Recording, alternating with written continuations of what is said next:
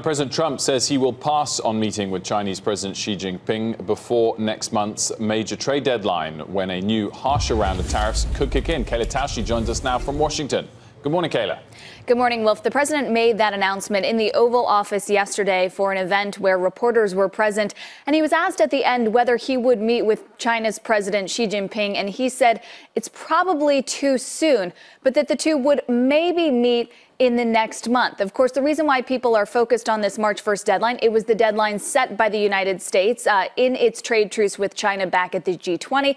And it is also the date at which tariffs will automatically double from 10% to 25% on some $200 billion in Chinese goods. Now, that is set to happen automatically unless there is a presidential memorandum that President Trump signs. That would require talks to continue progressing with China.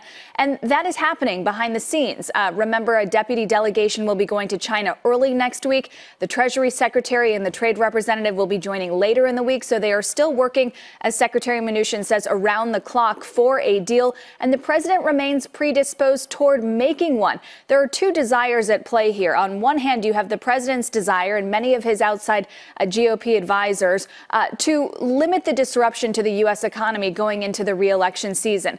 On the flip side, you have the desire to not let this opportunity and the leverage that the president has created with tariffs pass and to really hold China to account this time, and that if this moment passes, they won't be able to reopen this conversation at this level again, Wilf.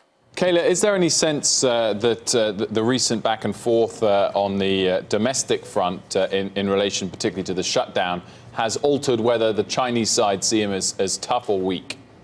Well, it's worth noting that the Chinese haven't significantly altered their offer. Some of the things that they're offering now are the same things that they were offering in 2017, an opening of the financial services industry, which back in 2017, the administration actually rejected uh, as a deliverable that the president would announce when he went to China. That wasn't viewed as strong enough.